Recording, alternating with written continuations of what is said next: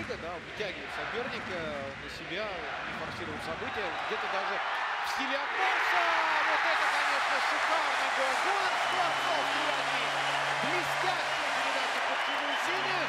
И Скворцов, у которого взрывная стартовая скорость имеется, приводит в восторг не только арену Рига, но и Александра Нежилия, своего еще недавнего партнера по команде, который ныне работает ассистентом наставника в